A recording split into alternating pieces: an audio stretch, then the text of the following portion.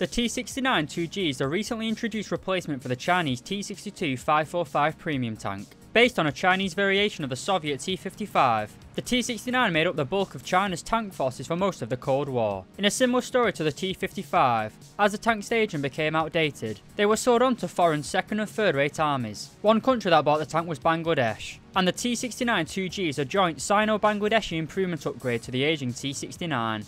Alright lads, today I'm going to be talking about the performance, weapons and playstyle of the Chinese T69 2G. Starting as always with the basics, this tank is a rank 6 battle rating 8.7 medium tank located in the Chinese tech tree.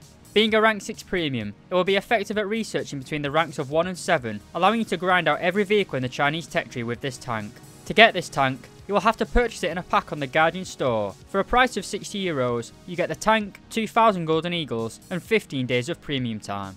After purchasing this tank from the store, you'll need to add it to your lineup for a cost of 10,000 silver lions. You can then additionally purchase the expert and ace qualifications for this tank, costing 1,120,000 silver lions and 2,100 golden eagles respectively. Being a premium, the T69 enjoys a very low repair cost of 3,700 silver lions, allowing you to take risks in this tank without paying a high price in the hangar. Going on to the rewards, the Type 69 has a base RP modifier of 2.26, which gives you an RP modifier of 452% with a free-to-play account, and 678% with a premium account. With a base silver lion modifier of 1.4, you'll have the same silver lion modifier as the other top tier premiums. You can expect a 280% silver lion modifier with a free-to-play account, and 420% with a premium account. So is it worth buying this tank, and how does it compare to the other rank 6 premiums? Stick around for the rest of the video and find out.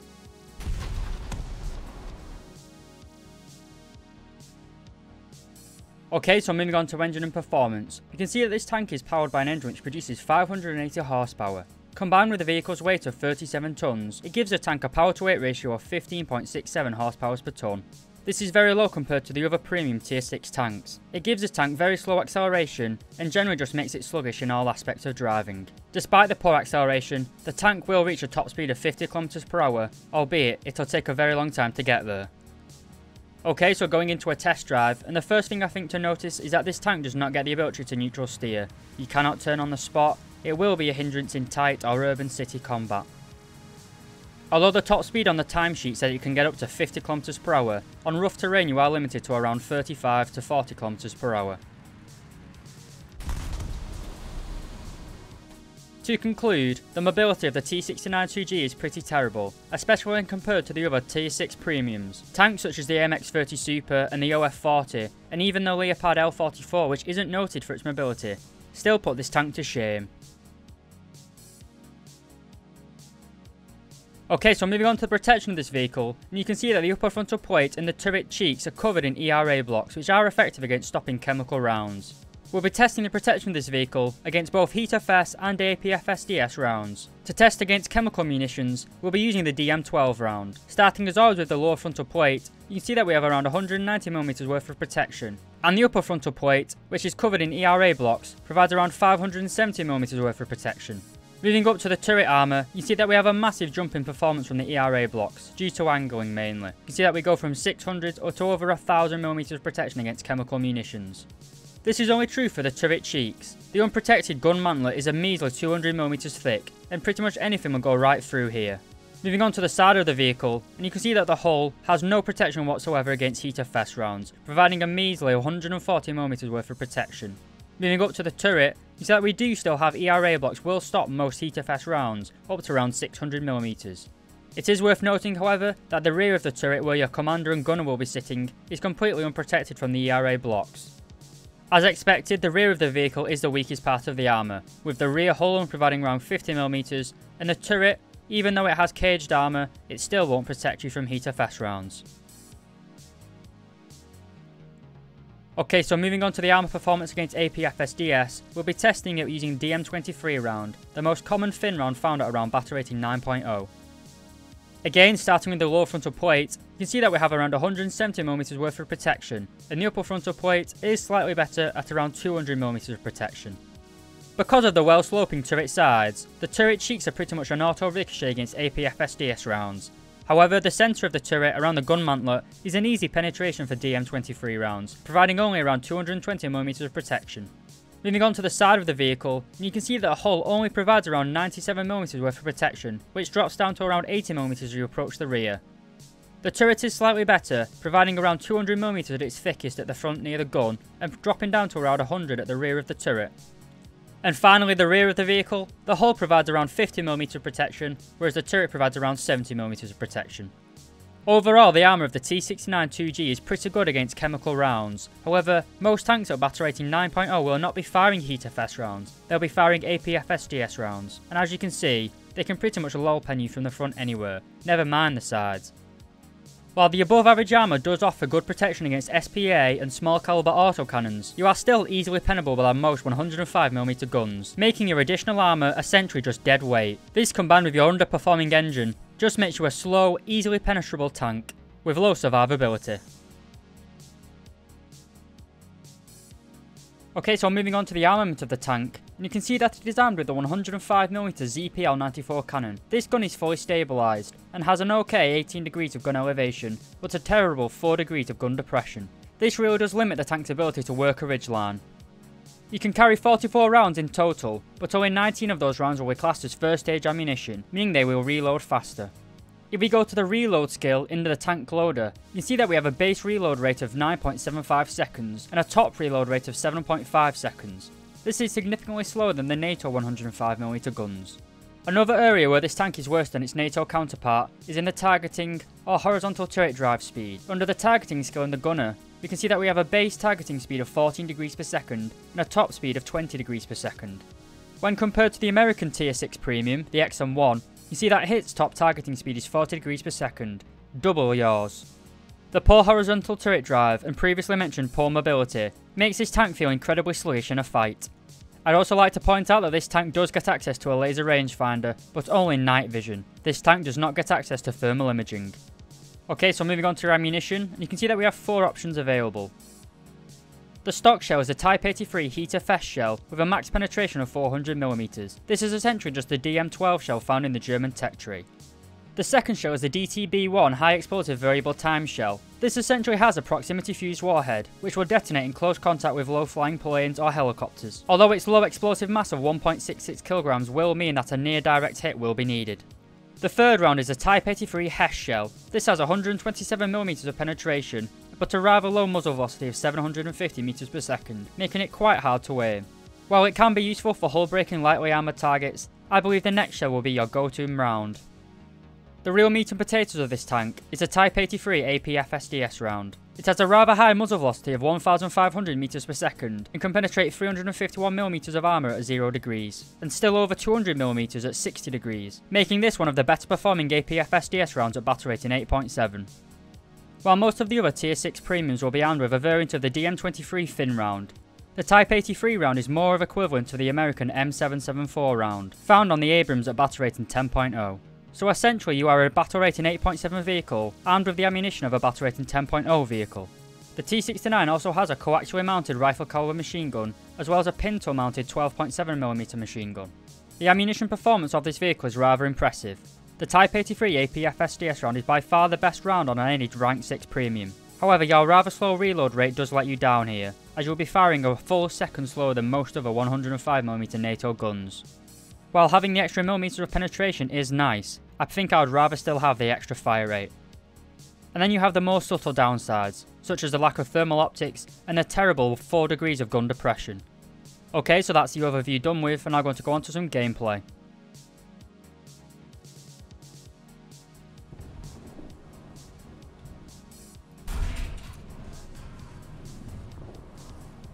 Oh, we found the entire enemy team it looks like. Try and get his ammo rack here. No, well he's not carrying any ammo. Gonna go back to this VT1. If we can get past his engine. Yeah. Sabre on this tank is pretty good.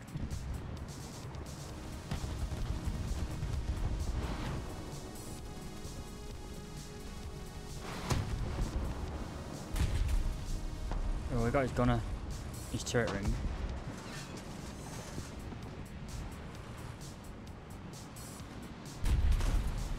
There's still that red camp wagon over here.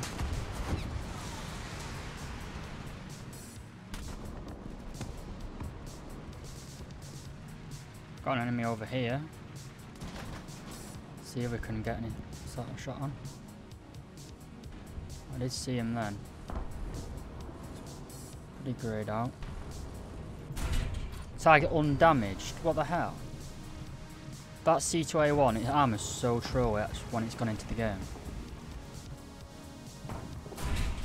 Right, so we got his commander gunner. Right, so he's not moving at least. Now another thing we can see that the reload speed of this uh, tank is pretty poor when stock. Did he manage to get the uh, C2A1 though?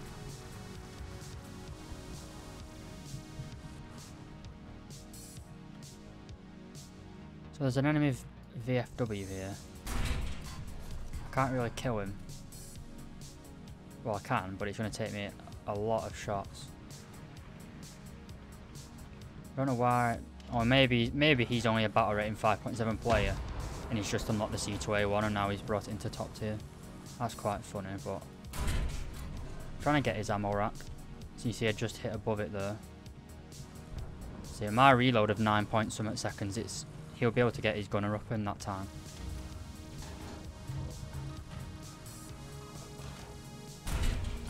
Ah well, finally, oh I forgot he could hull break those tanks. We could have one-shot him before, I a bit dumb. Is it one of those bloody VF things? Oh, that was a good shot. Kind of spawn camping, but I couldn't actually see him. And we did save our friendly Huey.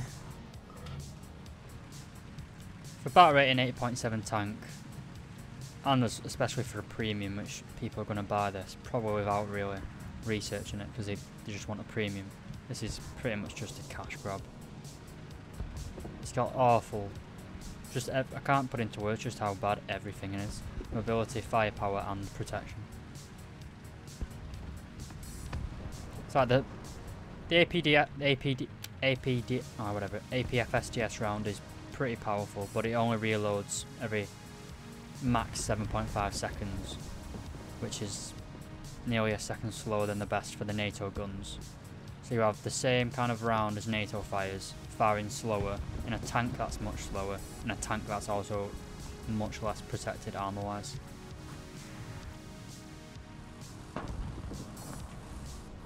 And usually it's alright because premiums are balanced usually because they have like a good gun but they've got low armor. And they don't really have any uh like they're balanced on the good in one thing but bad in another. Whereas this tank isn't really it's not got anything that outstands on it.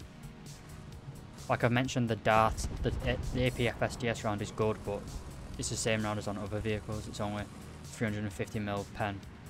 Yet 100mm more on the uh, T62s. So it's not particularly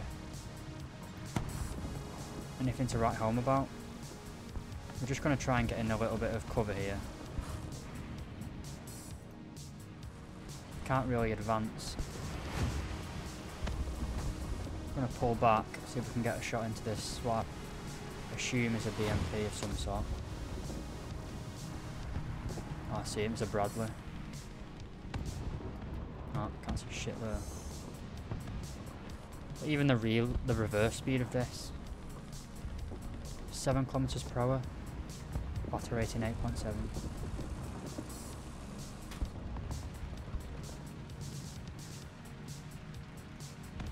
I'm going to try and get up here onto the left. I don't know if we're able to get a shot into that from three. Might have a better chance here because it's a bit lower. Yeah, got him.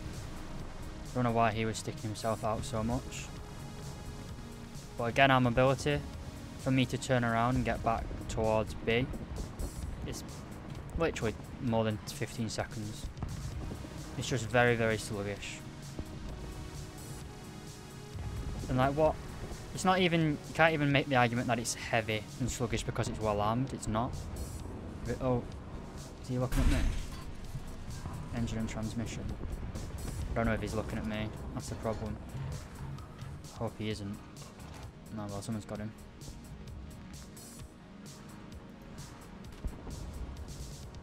Kind of just speaking my mind as a play at the minute.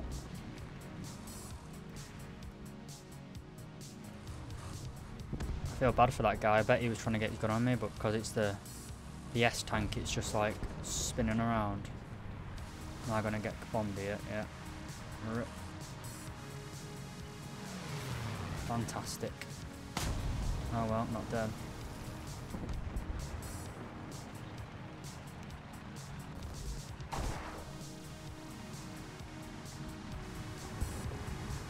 I'm not to survive this though. Oh well. There we go. That's what happens in War Thunder. Kill someone and they just revenge bomb you.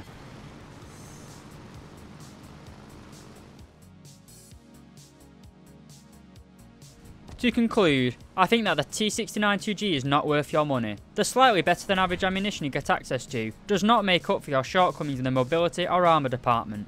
Even with this ammo, your reload is a full second slower than the standard NATO 105mm guns, putting you at a significant disadvantage. This tank has the same issues as the T55AM. While the armour of the tank is better than most NATO tanks at a similar battle rating, it is still not enough to protect you from the rounds being fired back at you so your armour is essentially just dead weight, significantly reducing the mobility of the vehicle. And with the current meta of War Thunder being about mobility first, firepower second, and armour third, you really are putting yourself at a disadvantage playing this tank.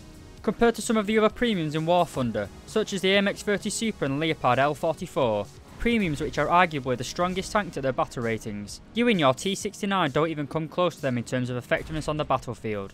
Your gun penetration is lower, you fire slower, you drive slower, your gun depression is worse, and you don't have thermal optics. The only area where your tank compares favourably is protection against chemical warheads. And let's be honest, most tanks at battle rating 9.0 are firing APFSDS, not HEATFS. Again, making your ERA pretty ineffective against the majority of opponents you will face. The cost of the T69 2G is the same as the Leopard L44, but you get substantially less bang for your buck.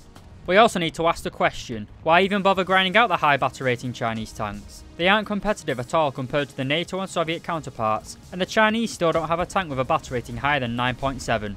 In my opinion, the most fun you can have in the Chinese tech tree is around battle rating 5.7, with the T-34s and the Hellcat. So in my honest opinion, I'd recommend you just buy the battle rating 5.7 T-34 85 premium tank.